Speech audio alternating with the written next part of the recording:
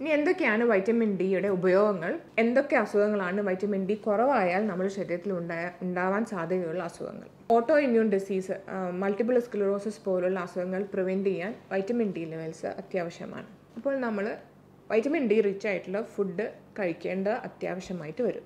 എല്ലാ ആനിമൽസിന്റെയും എല്ലാ മൃഗങ്ങളുടെയും പാലും ഇപ്പോൾ ഇത് രണ്ടും നമ്മൾ പൊതുവേ കൊളസ്ട്രോൾ കൂടും ഷുഗർ കൂടും എന്നൊക്കെ രീതിയിൽ നമ്മൾ ഒഴിവാക്കുന്ന ഒരു സംഭവമാണ്.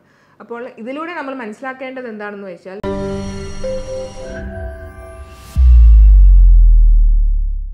നമ്മുടെ ശരീരത്തിൽ അത്യാവശ്യമുള്ള രണ്ട് ഘടകങ്ങളാണ് വൈറ്റമിൻസും മിനറൽസും.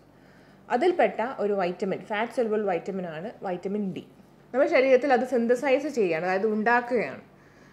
സൂര്യപ്രകാശത്തിന്റെ അൾട്രാ വയലറ്റ് ബി റൈസും നമ്മുടെ ശരീരത്തിലെ കൊളസ്ട്രോളും കമ്പൈൻ ചെയ്ത് അതൊരു twenty five hydroxy cholecalciferol എന്ന ഒരു ഘടനയുണ്ടാകുന്നു ഇത് കിഡ്നിയിൽ വെച്ച് വീണ്ടും ആക്ടിവേറ്റ് ചെയ്തിട്ട് one twenty five di hydroxy cholecalciferol എന്നൊരു active form of vitamin D ആവും ഇതാണ് നമ്മുടെ ശരീരത്തിൽ കാൽഷ്യം നമ്മൾ ഭക്ഷണം വഴി കിട്ടുന്നത് നമ്മളുടെ കുടൽ വഴി അത് ബ്ലഡിലേക്ക് എടുക്കാനും കാൽഷ്യം മഗ്നീഷ്യം ഫോസ്ഫറസ് തുടങ്ങിയ മിനറൽസിന്റെ അബ്സോർപ്ഷനും സഹായിക്കുന്ന ഒരു പ്രോ ഹോർമോൺ അല്ലാതെ ഒരു വൈറ്റമിൻ ആണ് നമ്മളുടെ വൈറ്റമിൻ ഡി എന്ന് പറയുന്നത്. വൈറ്റമിൻ ഡി അഞ്ച് തരത്തിലുണ്ട്. എന്നാൽ പ്രധാനമായും രണ്ട് ഫോംസ് ആണ് നമുക്ക് പൊതുവെ കൂടുതലായിട്ട് നമ്മൾ അറിയേണ്ടത്. വൈറ്റമിൻ ഡി ടു അഥവാ ergocalciferol vitamin D three അതോ cholecalciferol vitamin D two ഒരു പ്ലാൻ ഡിറൈവ്ഡ് പ്രൊഡക്റ്റ് ആണ്. വൈറ്റമിൻ ഡി ത്രീ ഒരു ആനിമൽ ഫുഡിൽ നിന്ന് കിട്ടുന്ന ഒരു പ്രൊഡക്റ്റാണ് സാധാരണഗതിയിൽ വൈറ്റമിൻ ഡി നമ്മുടെ ശരീരത്തിൽ മുപ്പത് നാനോഗ്രാം പെർ എം എൽ തൊട്ട് നൂറ് നാനോഗ്രാം പെർ എം എൽ ആണ് നോർമൽ റേഞ്ച് ഇതിന്റെ താഴെ പോകുമ്പോൾ ആണ് വൈറ്റമിൻ ഡി ഡെഫിഷ്യൻസിയുടെ ലക്ഷണങ്ങൾ കാണുക. നമുക്കറിയാം നമ്മളെ ഭക്ഷണത്തിലൂടെ കിട്ടുന്ന കുറച്ച് ഘടകങ്ങളാണ് കാർബോഹൈഡ്രേറ്റ് പ്രോട്ടീൻസ് ഫാറ്റ്സ് തുടങ്ങിയവ. ഇതേ ഭക്ഷണത്തിലൂടെ തന്നെ നമുക്ക് കിട്ടാ കിട്ടേണ്ട ഒരു ഘടകമാണ് വൈറ്റമിൻസും മിനറൽസും അത്തരത്തിലുള്ള ഒരു വൈറ്റമിനാണ് വൈറ്റമിൻ ഡി ഈ വൈറ്റമിൻ ഡി നമ്മുടെ ശരീരത്തിൽ എത്തിക്കഴിഞ്ഞാൽ മാത്രമേ നമ്മളുടെ ശരീരത്തിൽ ആവശ്യമായിട്ടുള്ള കാൽഷ്യവും മഗ്നീഷ്യവും ഫോസ്ഫറസ് സിങ്ക് തുടങ്ങിയ ധാതുക്കൾ മിനറൽസ് നമ്മുടെ ശരീരത്തിലേക്ക് അബ്സോർപ്ഷൻ നടക്കുകയുള്ളൂ. നമ്മളുടെ ഫുഡിലൂടെ കിട്ടുന്ന ഈ ധാതുക്കൾ കുടൽ വഴി ബ്ലഡിലേക്ക് എത്തണമെങ്കിൽ വൈറ്റമിൻ ഡി അത്യാവശ്യമാണ്.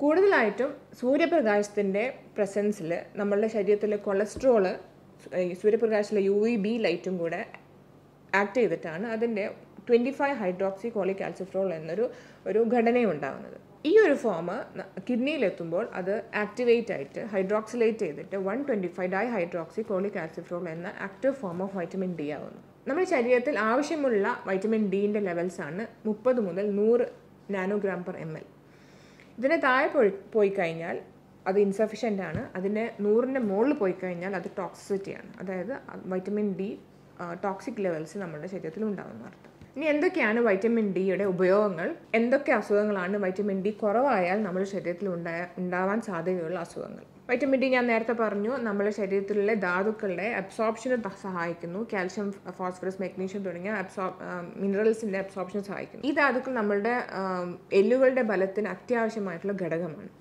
മാത്രമല്ല നമ്മളുടെ മസിലിന്റെ സ്ട്രെങ്ത്തിനും അതിന്റെ ഫങ്ഷനിങ്ങിനും നോർമലായിട്ട് നടക്കേണ്ട കാര്യങ്ങൾ ചെയ്യാനും അത്യാവശ്യമുള്ള ഒരു ഘടകമാണ് ഈ മിനറൽസ് ശരീരത്തിൽ വൈറ്റമിൻ ഡി ലെവൽസ് കുറഞ്ഞു കഴിഞ്ഞാൽ കുഞ്ഞുങ്ങളിലും ഉണ്ടാവുന്ന ഒരു അസുഖമാണ് റിക്കറ്റ്സ് അതായത് ബോൺ മിനറൽ ഡെൻസിറ്റി കുറഞ്ഞ് സോഫ്റ്റായിട്ട് അത് പൊട്ടിപ്പോകുന്ന ഒരവസ്ഥ എന്നാൽ മുതിർന്ന ആൾക്കാരിൽ ഉണ്ടാകുന്ന രണ്ട് അസുഖങ്ങളാണ് ഓസ്റ്റിയോമലേഷ്യ ഓസ്റ്റിയോപോറോസിസ് തുടങ്ങിയ അസുഖങ്ങൾ. ഇത് ഇത് ഇതിലും എല്ലുകളുടെ ബലം കുറഞ്ഞ് പൊട്ടിപ്പോയി.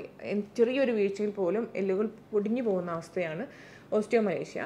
പ്രായമായുള്ള ആൾക്കാർക്ക് കാണുന്ന ഒരു അസുഖമാണ് ഓസ്റ്റിയോപോറോസിസ്. വൈറ്റമിൻ ഡി നമ്മളുടെ ശരീരത്തിൽ പ്രതിരോധ ശക്തി കൂട്ടാൻ സഹായിക്കുന്ന ഒരു ഘടകമാണ്. ഇത് മറ്റ് അസുഖങ്ങളെ പ്രിവെന്റ് ചെയ്യാനും സഹായിക്കുന്നു. മാത്രമല്ല auto immune disease multiple sclerosis പോലുള്ള അസുഖങ്ങൾ പ്രിവെന്റ് ചെയ്യാൻ വൈറ്റമിൻ ഡി ലെവൽസ് അത്യാവശ്യമാണ്. പഠനങ്ങൾ തെളിയുന്ന പോലെ മൂഡിന്റെ ഡിസോർഡേഴ്സ് അതായത് എഫക്റ്റ് എഫക്ഷൻ മൂഡ് ഡിസോർഡേഴ്സൊക്കെ വൈറ്റമിൻ ഡി ലെവൽസിന് അത്യാവശ്യമാണെന്ന് പഠനങ്ങൾ തെളിഞ്ഞിട്ടുണ്ട്. ഇനി എന്തൊക്കെയാണ് വൈറ്റമിൻ ഡി നമ്മുടെ ശരീരത്തിൽ കിട്ടാൻ സാധ്യതയുള്ള ഫുഡ് സോഴ്സസ് എന്ന് നമുക്ക് നോക്കാം. നേരത്തെ പറഞ്ഞു ഏറ്റവും കൂടുതൽ അതിന്റെ ഹയ്യസ്റ്റ് സോഴ്സാണ് സൺലൈറ്റ് അതായത് വെയിൽ.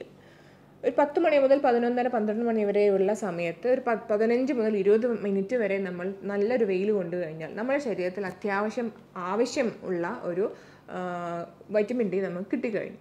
എന്നാൽ നമ്മളുടെ ജീവിത സാഹചര്യം കൊണ്ടും നമ്മളുടെ സമയമില്ലായ്മ കൊണ്ടും മിക്കപ്പോഴും ഇത് നടക്കാറില്ല. അപ്പോൾ നമ്മൾ വൈറ്റമിൻ ഡി റിച്ച് ആയിട്ടുള്ള ഫുഡ് കഴിക്കേണ്ട അത്യാവശ്യമായിട്ട് വരും.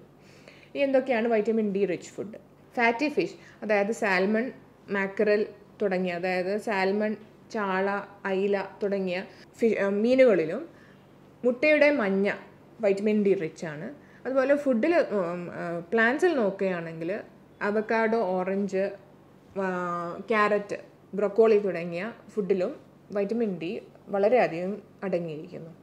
എല്ലാ ആനിമൽസിന്റെയും എല്ലാ മൃഗങ്ങളുടെയും പാലും പാലുൽപ്പന്നങ്ങളും പാലും വൈറ്റമിൻ ഡി റിച്ച് ആണ് അപ്പം നേരത്തെ പറഞ്ഞ പോലെ വൈറ്റമിൻ ഡിയുടെ ആവശ്യകത പറഞ്ഞ പോലെ തന്നെ ഇമ്പോർട്ടന്റ് ആണ് കാൽഷ്യവും നമ്മുടെ ശരീരത്തിലുള്ളത്.